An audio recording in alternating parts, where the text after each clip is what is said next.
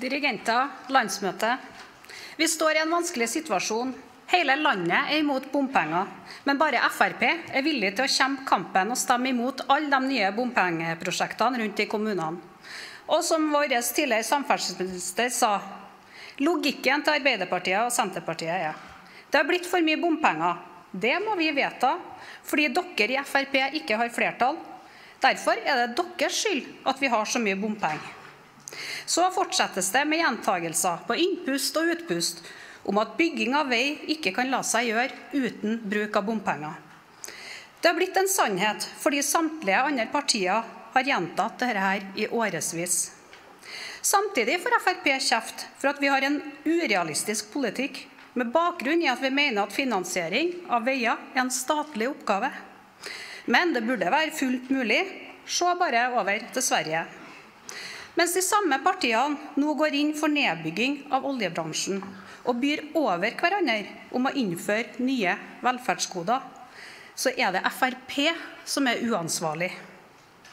Med bakgrunn i klima- og miljøhensyn så tror man altså at å avslutte utvinninga av de to prosentene råolje av verdens samla forbruk som gjøres her i Norge, så vil det gi store utslag på verdens totale forbruk av olje.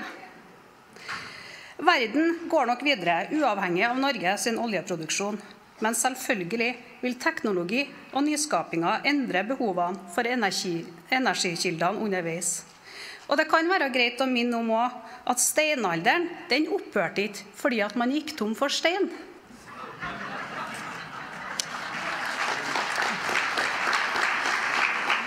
Så var det statusen til Trøndelag, da. Er Trøndelag fylkeskommune så sultefòra etter elendige overføringer fra staten som Tore og Sandvik vil ha det til? Vel, Trøndelag fylkeskommune hadde et mindreforbruk på enhetene sine på over 450 millioner i 2018, som nå overføres til 2019. Og driftsregnskapet viste et mindreforbruk på over 76 millioner. I tillegg har vi fondsmidler i Trøndelag på over 900 millioner. Så virkelighetsbildet er nok ikke så trasig som enkelte vil ha det til. I det siste fylkestinget fremma Frp og Høyre et forslag om å øke midlene til fylkesveiene med 60 millioner, men det ble raskt nedstemt av de rød-grønne. Det som også er verdt å merke seg, er at Arbeiderpartiet og Senterpartiet nå går inn for reelle kutt når man lyser ut et nytt distriktsanbud for kollektivtransporten i Trøndelag.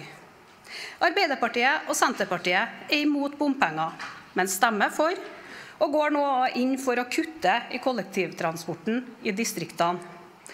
Trøndelag Frp er klar for valgkampen. Og ja, Siv, vi er klar til å kreve forandring.